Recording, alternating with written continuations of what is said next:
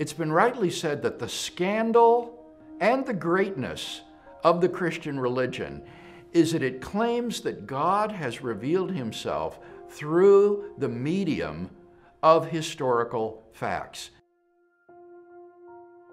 And what distinguishes Christianity, what sets it apart from other worldviews, is that there's actually a test by which we can know whether it's true, and that's the resurrection of Jesus. A person can, can go and investigate Christianity, especially the question of the resurrection of Jesus. If they think it happened, they have, they have excellent reason to embrace the entire Christian faith. If Jesus did not come back from the dead, there's not really a solid shred of evidence pointing to that, then you're well within your rights, according to the apostle, to reject Christianity. So Christianity is testable in that respect. You can investigate it because it, it, at its core, it has a certain question that's investigatable.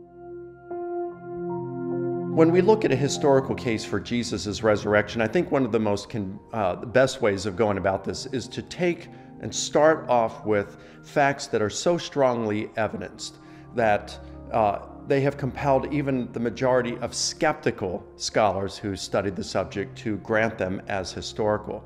And that kind of suggests that it's not just because a Christian has bias that these things are accepted as true. It means that the historical evidence is true, even beyond a person's bias. Let's look at the widely accepted historical facts and see where the evidence points. In order for Jesus to have risen from the dead, three things would need to be true. He would need to be alive at point A, dead at point B, and alive again at point C.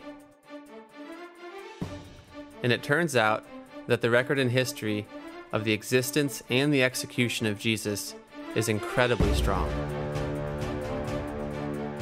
Well, it's become kind of a fad on the internet to claim that Jesus never existed. But this isn't something that is typically held by scholars today. In fact, the number of scholars that would even hold this position, and I'm talking about bona fide scholars who have PhDs in relevant fields um, of like history and biblical studies or religious studies, you wouldn't find more than a handful of them living on earth right now who would deny the existence of Jesus. I mean, probably just as many as who would deny the Holocaust. In the ancient world, if you have two sources for something, two independent sources, that's usually excellent. And a lot of events rest on two sources. A lot of events rest on one, but two is great. Bart Ehrman lists 11 ancient sources for the crucifixion of Jesus. And he says to, to the guys who say he never existed, he goes, how do you deal with 11 sources? If you just do normal history, you can't disprove the fact that uh, that Jesus died. We have, it's called multiple attestation. We have too many sources documents, people, not all of them Christian. Virtually every scholar, uh, believer, non believer, skeptic, uh, concedes that Jesus was executed in uh, the first century, 30 or 33 AD. Um, you get laughed out of a major academic institution if you claimed otherwise. In fact, the atheist um, New Testament scholar Gerd Ludemann says Jesus' execution is an indisputable fact. John Dominic Crossan and Marcus Borg, probably next to Bart Ehrman are the best known skeptics in America. They both say, in their own way, in their own works, Borg and Crossan, that the fact that Jesus died by crucifixion is probably the best supported fact in the ancient world. Now, why would they concede that if they're skeptics and you know they'd like to get a foothold and say the Christian message isn't true? Why? They say it's the best attested because it, it just is. Now, in order to determine whether Jesus was really alive at point C, we need to look at four essential facts. And it's important to understand that the following facts can be established without presupposing that the Bible is God's Word. They're a matter of history. They're established by the records of both Christian and non Christian sources from the ancient world, and they're agreed upon by both Christian and non Christian historians today.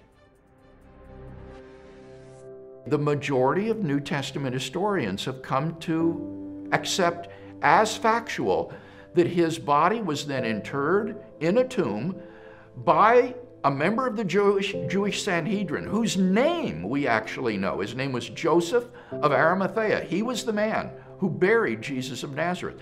Secondly, that that tomb was then found empty by a group of Jesus' women disciples on the Sunday morning following the crucifixion. And again, the name of Mary Magdalene is always attached to uh, that account of the discovery of the empty tomb. Thirdly, that thereafter various individuals and groups of people experienced appearances of Jesus alive after his death. And finally, that the original disciples suddenly and sincerely came to believe, despite every predisposition to the contrary, that God had raised Jesus of Nazareth from the dead. Now, some people will say, well, sure, anyone could make that claim. But what we're saying is that they really believe that they saw Jesus. Whether these were hallucinations or not, that's a separate question. But the historical fact is, and this wide spectrum of historians acknowledge that the disciples really believed that they were appeared to by Jesus. So from there, we have to account for what led the disciples and Paul to believe that Jesus had been raised from the dead and had appeared to them, what were these experiences they were having? Now, of course, we can't get into a time machine and return to the past and see what they actually saw, to experience what they experienced. But we can look at various options. Some will argue that Jesus' body was stolen. Okay, if Jesus' body was stolen, why would the disciples have genuinely believed he appeared to them if they stole the body? Bigger question yet, why would Paul believe Jesus appeared to him if the body was just stolen? What explanation is there? How do we interpret the, in, the conversion of Paul and James? How do we interpret those four facts that the wide majority of scholars take for granted? How do we interpret that? Do we interpret that naturally or do we interpret that supernaturally? The next theory that you'll often hear is that they hallucinated, that the disciples who had been with Jesus for so long and spent so much time with him, they really wanted to see Jesus alive. And so they hallucinated. It's a common psychological phenomenon, which is true. People who love others will sometimes see them after they're dead. But 500 at once? And all the disciples to the point where they were willing to die? It doesn't quite fit. And once again, Paul. What do we do with Paul? Why did Paul hallucinate the risen Jesus? It doesn't make sense. So there are no naturalistic explanations for the resurrection that fit nearly as well as the resurrection itself. There's a lot of problems with hallucinations. Probably no theory has more refutations than hallucinations. For example, the majority of scholars today believe the tomb is empty.